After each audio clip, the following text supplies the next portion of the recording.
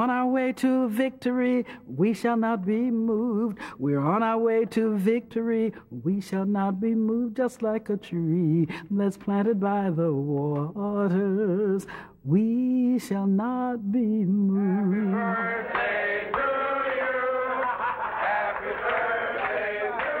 On January the 15th, 1968, Martin Luther King celebrated his 39th birthday. It was to be his last. And it says, let me read. It says, "We are cooperating with Lyndon Johnson's war on poverty. Drop coins and bills in the cup." And we- He did say that he dreamed that he died.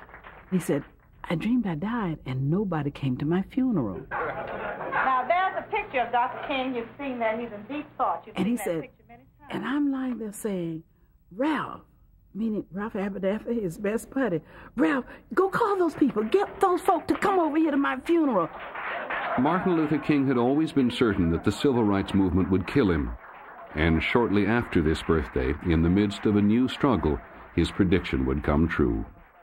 There's a guy named Abby Mann who's a filmmaker who's talking about making a docudrama on King.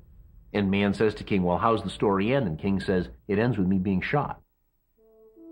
Memphis police report Reverend Martin Luther King has been shot. Dr. King, 39 years old, a Nobel Peace Prize winner, fatally wounded in Memphis as he stood on a hotel. Dr. King came to this city to help settle a garbage workers' strike which had been going on for two months here. During the last weeks of his life, Dr. King had come to this city on the banks of the Mississippi River to support garbage collectors. In one of the last great civil rights struggles, the workers had gone on strike after a tragic accident. Well, you didn't have any white workers picking up garbage. The white workers are heavy equipment operators. No whites were picking up garbage, just the blacks. And whenever it rains, the white workers could go inside and get out of the rain. The black workers had to take shelter in the truck. And on this occasion, two men got in the back of a truck to escape the element. And somehow the mechanism of that truck got engaged. Either somebody hit one of the switches or it was a malfunction, and that presser came down on it and crushed them to death. And so the men said, No more. We will work no more. This is about our being willing to face macing, marching, and anything else in order to say no to racism and injustice. We will have a victory. The sign that they carried during the strike, it didn't say peace, it didn't say freedom, it didn't say justice. It said, I am a man. It was a hell of a place for Dr. King to end up, a photographer said of his death, and for one hell of a cause, a little garbage strike. But as it turned out, the events in Memphis leading up to Dr. King's death changed the civil rights movement and the way we remember its most famous leader. I just want to do God's will, and I've seen the promised land. I may not get there with you, but I want you to know tonight that we as a people will get to the promised land.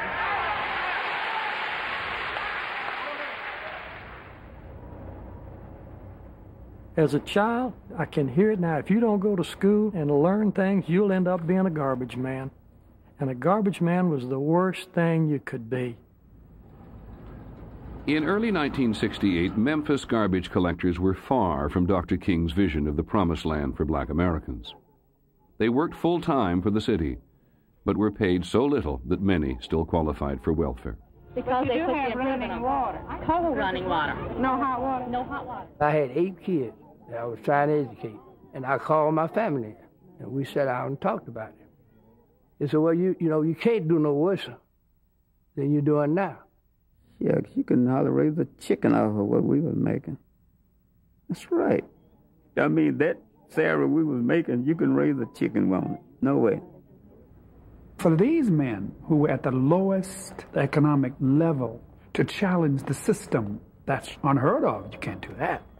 Councilman Davis. Aye. Councilman Donaldson. The man walked off the job on the 12th of February, 1968, and marched into City Council chambers 10 days later.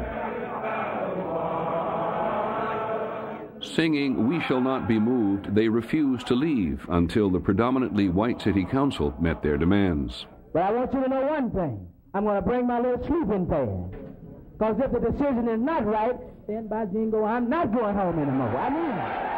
They were pointing at the symbol of the city saying, You've got a cotton bowl on the flag that needs to be ripped off and uh, thrown in the river because that represents slavery. And eventually they were eating salami off the uh, beautiful antique tables. Uh, I think they were getting ready to just about uh, tear the place apart.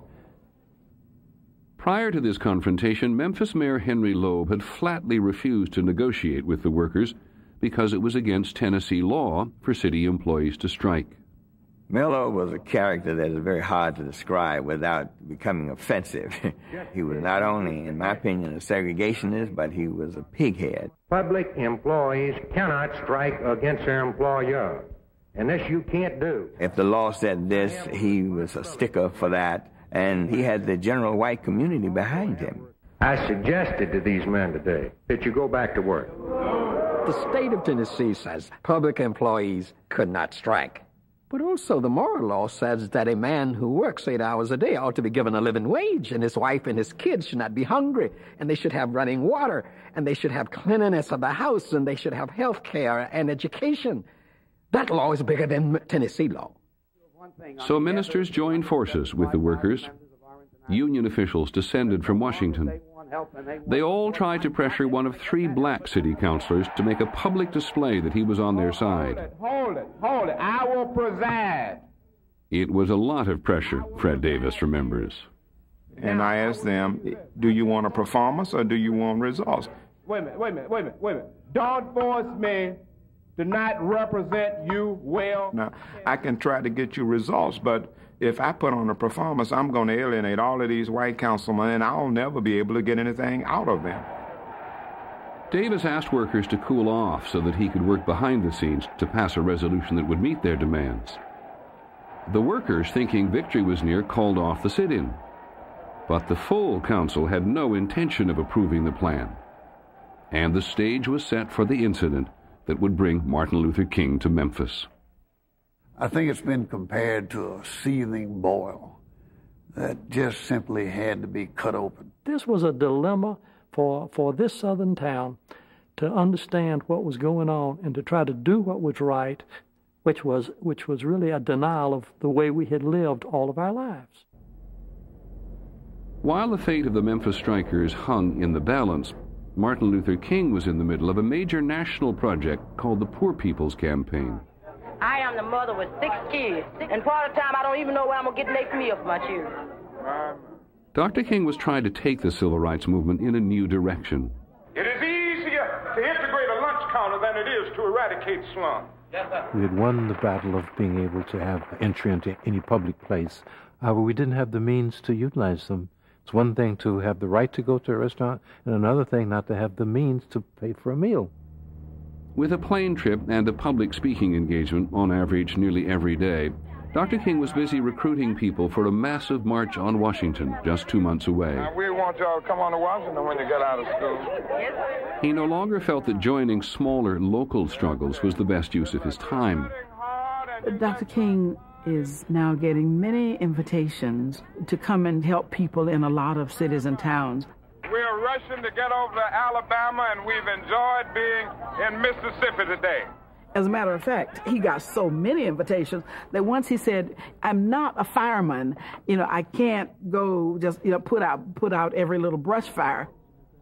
But King was about to change his mind because of Memphis. On February the 23rd, a day after the raucous city council meeting, workers, union leaders, and ministers gathered in Ellis Auditorium, expecting to hear good news. Instead, they were shocked by a resolution that did not meet their demands. The recommendation of our committee. I started to announce the agreement, and I said five cents an hour raise. And that is far as I got. The place went up in smoke and pandemonium hit, and somebody yelled from the balcony, the nigger's gonna sell us for a nickel. It just went crazy. The men, of course, were just outraged. They were shouting. all kinds of slogans. You promised us and you betrayed us. We felt awful, you know, because we were ready to get back to work, and this come up and it killed it, put a dap on the whole thing. The men were angry. They demanded that their spokesman be heard. They got up from their seats. Never before in the history would they think that these men who had been so docile now became so vocal, standing on their feet, not asked to be stand. They stood on their own. The workers were instructed to leave the auditorium and organize a march down Main Street. It was a way to vent their frustration. The strike leaders, like Dr. King, were staunch proponents of non-violent demonstrations. We were very peaceful, but then suddenly we had not walked more than a block when squad cars came from everywhere and lined up alongside of us. The strikers had permission to walk on the right side of the road, but a police car kept driving over the line, crowding the demonstrators. I turned around and told the police officers, Don't do that. You're trying to provoke us. You all stay on the other side of the line. At first, the police car stopped crossing the line, but when Lawson turned his back, he says it started again. This time, there was chaos. There's been a call of help from other officers. Officers are in trouble. I looked back and I saw the men rocking this car. And instantly, the police officers are pouring out of the cars with cans of mace and macing us. That tear gas is something else. Can't see, just like somebody would take pepper, pepper water, and spray in your eyes, and you had to breathe it. And it didn't matter who they were women, men, clergy with collars on. They maced everybody. Never before in Memphis had the division between blacks and whites been so exposed. At this time, you saw the disintegration of the city. You saw the hatred in people's eyes that just burned a hole right through you. This city is going to hear. This city is going to give us justice. It's just that simple. There will be continued marches. We will not stop. The black community recognized that we were now in a major struggle. The strikers and their supporters immediately started daily marches. As far as they were concerned, the city had raised the stakes by breaking up their first major march. And this is when the call went out to Martin Luther King. I didn't feel good uh, when I heard that Reverend King was coming to Memphis. Make no mistake about it. The general sense in the community in which I live was that Martin Luther King was a troublemaker, that he was disruptive. But when Martin Luther King was invited to come to Memphis, it turned into an event that far exceeded anything I would have imagined at the time. The year-old protest against city buses is officially called off, and the Negro citizens of Montgomery are urged to return to the buses tomorrow morning on a non-segregated basis. I see Martin Luther King lifting the sight of the people. I still have a dream. Instilling a new vision of what it meant to be free. We are saying we ain't gonna let nobody turn us around. And yet, I remember once that I think it was Rabbi Heschel who introduced him and talked about him and actually used the word, talked about him as though he were a saint. And Dr. King seemed depressed after that beautiful introduction because you know, he knew he was not a saint and, and wished that he were. We very seldom think that here's a man like us, like other men. Uh, When he first got the call to join the Memphis garbage strike, Martin Luther King understood well that many followers still hoped he could perform miracles. And the expectation weighed heavily on him.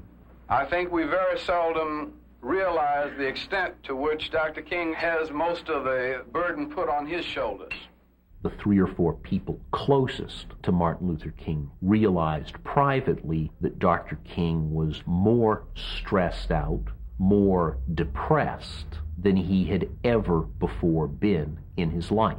You know, sometimes he was, you know, walking around in, you know, just sort of a zombie like state because he hadn't had any sleep, but he couldn't sleep.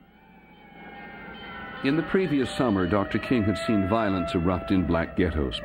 It was the worst rioting the nation had ever seen. Governor Romney of Michigan and the local officials in Detroit have been unable to bring the situation under control. Hundreds were arrested, 30 killed. Many blacks blamed Martin Luther King for not doing enough to help poor blacks living in the cities.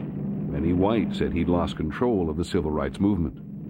Dr. King was deeply distressed and struggled with you know, the position that he should take in the light of all of this criticism.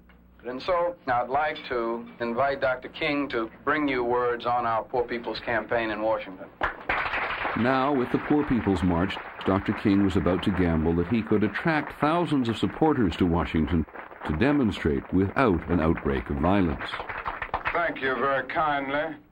And some of King's followers were doubtful that he would be able to keep things under control. And uh, power for poor people.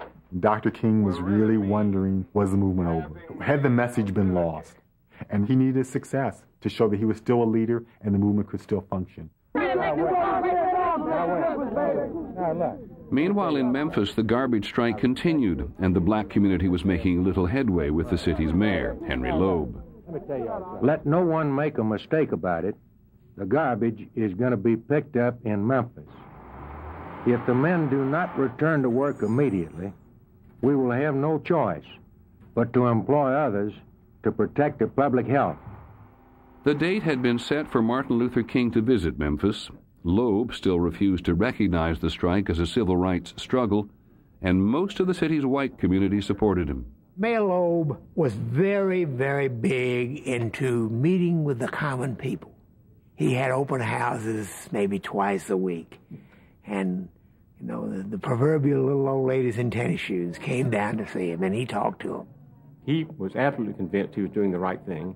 And one of the ways he showed us that was he reached and picked up a stack of letters and shook them in our face while we were sitting there to tell us how much support he had. He felt like that he had the pulse of the people. It really didn't seem to react on him that those people were 100% white.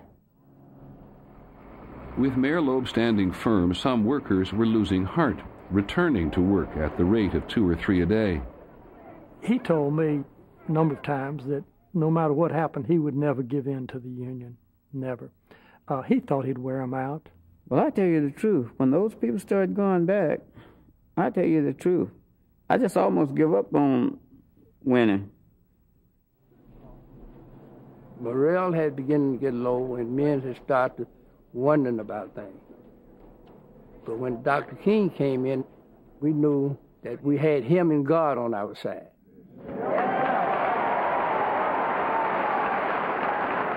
And it is criminal to have people working on a full time basis and a full time job getting part time income.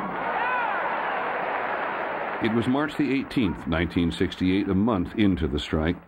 Dr. King had finally come to Memphis to inspire hope as he had done so many times in the earlier days of the civil rights movement. One day our society will come to respect the sanitation worker if it is to survive for the person who picks up our garbage as in, in the final analysis is as significant as the physician for if he doesn't do his job diseases are rampant King had planned to give just this one speech in support of the strikers, but then something happened. I want you to imagine these very wide aisles, and people were standing shoulder to shoulder. He sensed the unity, he sensed the friendship and the warmth. He sensed that indeed this was one of the movements of the South that he had led in the past. And he was turned on by this mass meeting in Memphis. Dr. King turned to me on stage that night and said, "You know," he said, "I got a great feeling that this, this is this is this is the movement." He says. He said to me, "Jim, you are doing in Memphis what I hope to do with the Poor People's Campaign." We had gotten into one of the tough issues, that is, workers who need good work and decency and living wages while they work. He saw Memphis as pulling the movement into the right direction. So it was a watershed movement from his point of view. Through our submarines, we were able to dwarf distance and place time in chains. Through our submarines, we were able to penetrate oceanic depths. Seems that I can hear the God of the universe saying, even though you've done all of that, I was hungry and you fed me not. At the close of his speech, people were standing, still clapping, and he may have said in his remarks that we should support the striking workers and we should have a, a march. And my goodness, the place just went bonkers when he said that. So I said, Would you come back and lead it? And some other people would say, Yeah, will you come back and lead it? He said, Well, let's work it out. I said, Well, announce it, announce it. He said, We're going to have a work stoppage in support of the garbage workers, and I want to come back and lead it. And the police said, Ah. That night at the Lorraine Motel, while his staff continued to prepare for the Poor People's Campaign, King talked about his plans for a second visit. After the rally, we went back to the motel there was a choir there from college. And when they found out that Dr. King was in the, in the vicinity, they insisted that they had to sing for him because they would probably never get this opportunity in 10,000 years, or 1,000 years. And so they came in in their pajamas and, and their rollers in their hair and all the things that ladies do, preparation for bed, and, and, and sang beautifully. And he, he was quite moved by it, and, and we all thought that was a, a good sign a very good sign. For King, returning to Memphis meant more than helping a local garbage strike. The stakes were much higher. They wanted to use Dr. King to gain publicity for the strike. But King wanted to also use the strike to gain publicity for his movement and to show that he could still lead a movement. King had indicated how after Montgomery, everybody believed that he'd be able to pull a rabbit out of whatever hat someone handed him. That expectation that he could always deliver a victory was a very oppressive burden on King.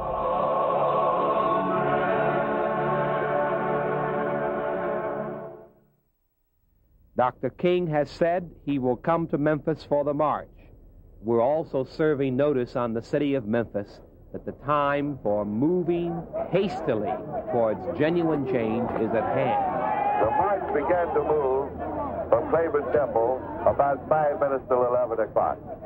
The day for King's big march to support the garbage workers began with great movement spirit. His plane was late, but thousands of marchers had been assembling since early morning, as if for a giant street carnival. I wanted to be there early because I kept saying I wanted to be near Dr. King. I wanted to be near Dr. King. I want to be close to Dr. King. Hundreds of people have joined. There must be 5,000 at this time. There were like seas and seas of black people. The first time I marched with the workers, I marched beside a man who had a white sign with black letters on it that said, I am a man. And then I realized all of his life he had been boy because white people didn't address black people as men and women. It was, hey, boy. You felt like you was somebody. You felt like you was a man, not a boy. You felt like you was tired of people running over you and you were going to stand up and be a man. Martin Luther King finally joined the march an hour after it was due to begin. People were getting restless, and there was tension between those who wanted a peaceful march and some troublemakers. I walked to one corner where there was a young man haranguing people. I didn't know him. I'd never seen him before. Obviously an agitator of some kind. I asked him to stop, and I tried to say to him, look, this is to be a nonviolent march. We've invited women and children to be with us. I remember hearing, Dr. King is here, Dr. King is here. Then the adults were saying, stay in line, stay in line when the march moved off, it was already out of control because there were people standing around, there were people drinking. The police could not control that. They were not even down in that part of the march. They were protecting the property up on Main Street. And then uh, I could hear this sound. It was, it was an unusual sound. I didn't know what it was. You can hear them yelling in the background. They're breaking out the store windows. And... We are rolling up now. We're now rolling up our windows. They are beginning now all of a sudden, people start running and screaming. Go back to the church. Go back to the run, run. It was just horrible. I actually thought I was going to die. There was a policeman standing near me, and I could hear voices on the radio saying, The Negroes are rioting. The Negroes are rioting. These young thugs took the signs off of the sticks that were holding the signs and started breaking out the windows. As I turn the corner onto Main Street, I see a phalanx of police. They have on their helmets. They are in complete battle gear. The police have just been given instructions to break up the march. They waded into the crowd and started beating anybody in sight. I just saw blood, you know, people were just bleeding. And I remember standing there and saying, why? That's not how Dr. King wanted it. Because they were looting. They started pulling things out of the stores. This was not supposed to happen. Get off the streets and not assemble in groups. Then I say to Martin King, Martin, I want you to leave because I'm turning the march around. And he immediately protests and said, People will say I'm a coward and I'm running away. And I said, I, I recognize that. But I said, I'm stopping the march and turning it back. Get out of the street. Martin Luther King is getting into an automobile. Martin Luther King has left the march. The fellows who were around Martin had to pick him up bodily to take him to the Rivermont Hotel, which had just recently been integrated. And I went over there, and he was lying in bed, not not in pajamas, but just lying on the bed in his clothes. And he was so despondent. And he was just, he said, What do you think happened? What happened? What happened? And of course, we did ask for the National Guard at 11:32 this morning. There'll be 4,000 troops in this city by 6 p.m. 250 Tennessee. I didn't think it would get this far, and I can remember clearly feeling that the day I stood in the showroom of my automobile dealership, looking out to Union Avenue and seeing trucks go by with tanks on them. The day after the disastrous march was one of the lowest moments in Dr. King's career. Dr. King's been criticized for coming in from outside and then abandoning the march when the going got rough. What's your reaction to that? There was severe criticism of Martin King. It was said that we caused the riot. That was what was said. We did not run, as the Memphis paper said. We walked very slowly. And as I walked, I was agonizing over what had developed. When the march degenerated into a riot, abandoned by its leaders, the police, with my full sanction, took the necessary action to restore law and order. It was said this is the last gasp of a nonviolent movement. Dr. King, can you or will you guarantee that there will be no violence during your next march in Memphis? I am convinced that we can have here and in Washington a massive nonviolent campaign. After March 28th, which in his mind was the greatest public disaster that had ever befallen his reputation, King knows that he has to pull off a success. That pressure was perhaps as great as it might ever have been in his life. With Memphis in shambles, the Poor People's Campaign was in jeopardy. If King could not lead a peaceful demonstration in Memphis, could he lead one in Washington? one of the problems is uh, I'm running into so many. Back with his staff, King debated whether to lead another Memphis march. Some staff members thought Memphis was political quicksand. The first thing they say, I want to be in Washington. But I said to them that really, you can't go to Washington, but by Memphis. Because if we cannot have a peaceful march in Memphis, they make a case that you're not going to have it in Washington. But don't let that thing go too fast on you. He sat there all this time listening to the staff arguing so violently the pros and cons and everybody holding on to their position. His staff said, We don't really have time because we're, we're running behind schedule with the Poor People's Campaign and we just don't have time to do it. And he overruled the staff. He said, No. He said, This is what the Poor People's Campaign's about poor working people. He said, We're going to come back to Memphis and we're going to have a peaceful march. We're going to do that. April 3rd, 1968. Despite tornado warnings, 2,000 people still turned out to hear Martin Luther King speak. I shan't forget. It will be etched in my memory for all the years to come. The clouds came in and the uh, the weather. It was if somehow the providence was against us. when King had arrived for this third and final trip to Memphis, he was tired. At first, he decided to stay behind at the Lorraine Motel, and he sent Ralph Abernathy to Mason Temple to give the main speech in his place. He said, You guys go over and have the rally. I'll stay here and work on the Poor People's Campaign. When we walked in, Ralph's preacher sense said, Wait a minute, these people are not clapping for us. They think Martin's behind us. He said, I ain't making no speech tonight. And so he went to the phone and called Martin and said, Man, you better get over here. These people came out in the weather to see you, and you need to get over here. He said, Well, if you think I need to come, I'll come. But we almost missed the mountaintop speech. And so the evening began in earnest with a 25 minute introduction of King by Ralph Abernathy. And sometimes we ought to stop and introduce a man properly. Martin Luther King was born in Atlanta, Georgia. Black audiences know how to move a speaker on, and they didn't do that to Ralph. Usually they would say, Amen, Amen, brother. That means get out of the way. Never said it. The wind was blowing the shutters in the temple, and every time they would bang, he would jump and look around, Martin would. And they would say, Bam!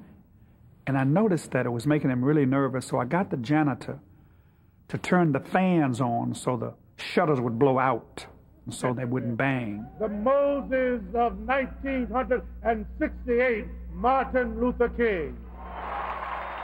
Finally, it was King's turn to speak. He took no script to the podium. You know, several years ago, I was in New York City autographing the first book that I had written.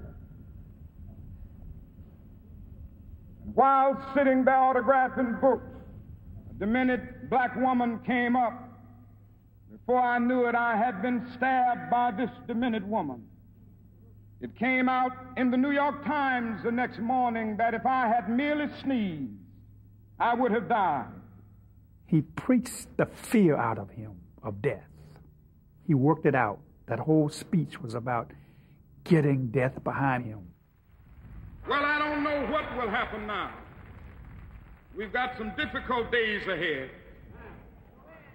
But it really doesn't matter with me now because I've been to the mountaintop. I don't mind. Like anybody, I would like to live a long life. Longevity has its place. But I'm not concerned about that now. I just want to do God's will. And He's allowed me to go up to the mountain.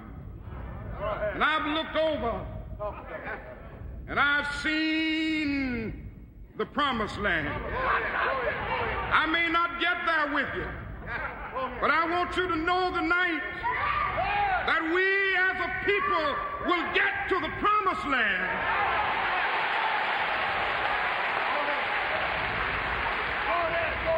So I'm happy tonight. I'm not worried about anything. I'm not fearing any man. Mine eyes have seen the glory of the coming of the Lord.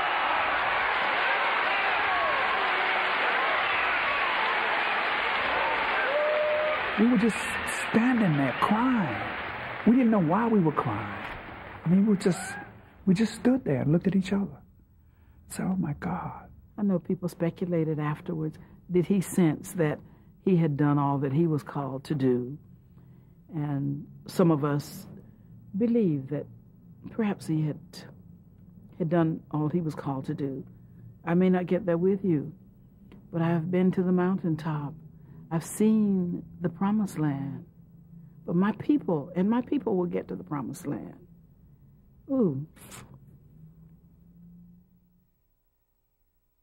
We're on our way to victory.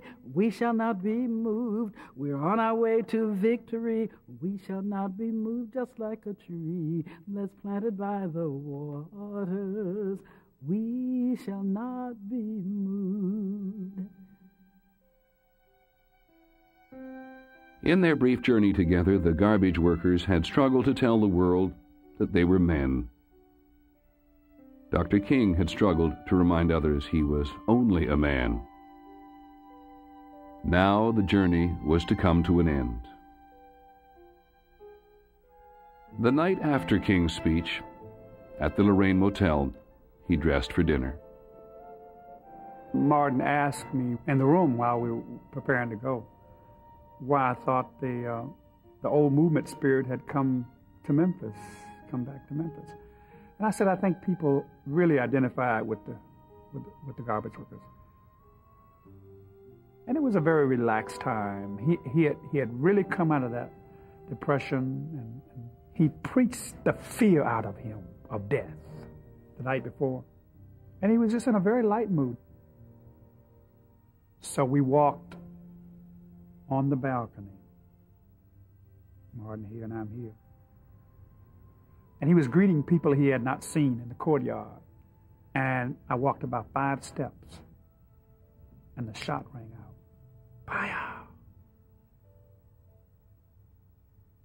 And I ran to him, and it was like a nightmare. I was trying to wake up, but I was already awake. It was like I was shaking my head. This, this, this, this gaping hole the necktie that I picked out for him after he put another shirt on. The impact of the bullet severed the knot and turned it upside down. And I don't know why I remembered that, but it's etched in my mind. I ran in the room and picked up the phone. And I couldn't get the operator, so I was saying, Answer the phone, answer the phone, answer the phone.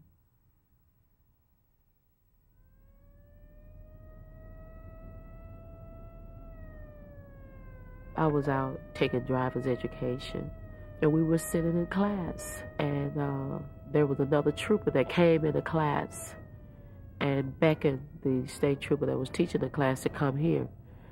And when he said something to him, this trooper just turned totally red. He had such a fear on his face. I mean, it was like he, you know. So he came to the front of the class and he said, Class is dismissed. Dr. King has been shot. I didn't believe it. I thought it was not possible. I arrived and uh, at the office, and people were having uh, hysterics. Dr. King's been shot. Dr. King's been shot. Dr. King is dead, someone even said to me. I said, Don't be ridiculous. I said, It's the most ridiculous rumor I've ever heard.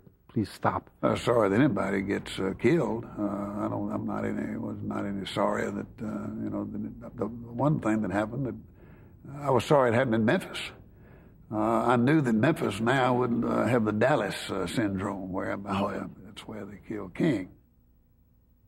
And it just looked like the end of the world had come.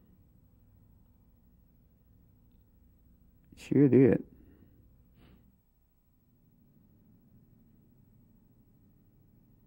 I've been in the storm so long.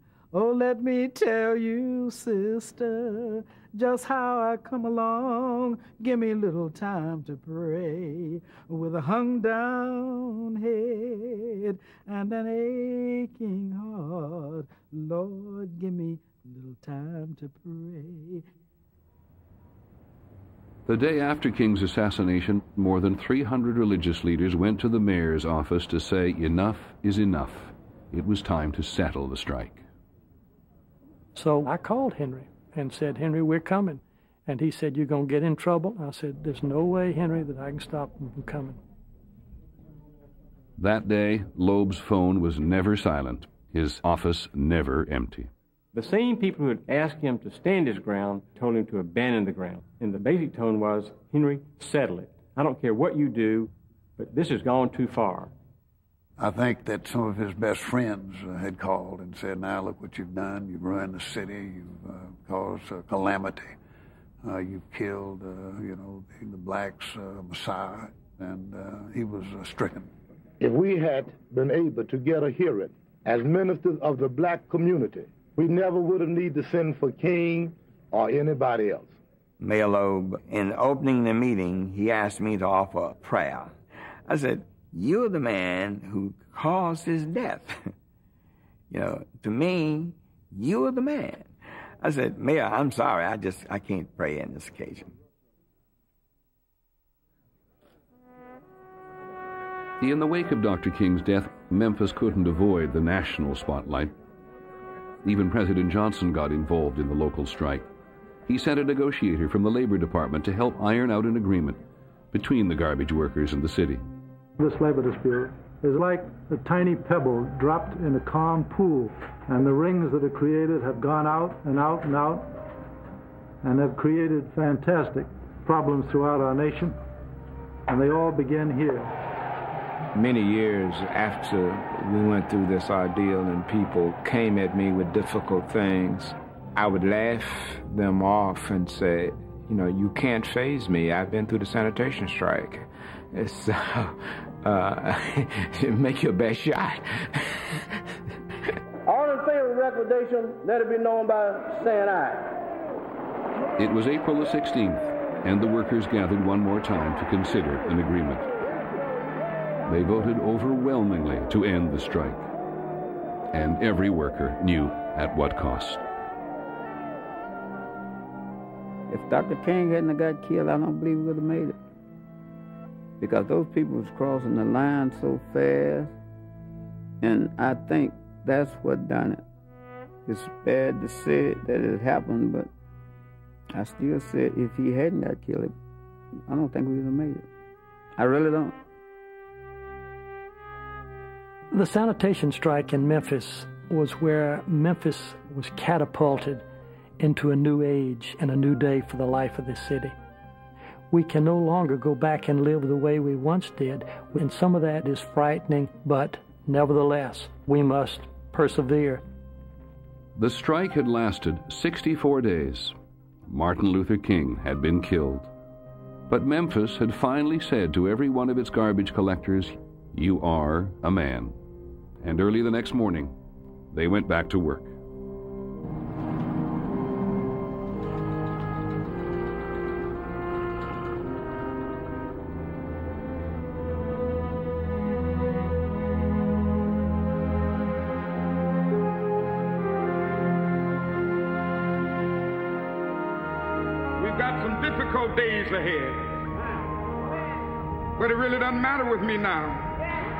Because I've been to the mountaintop. There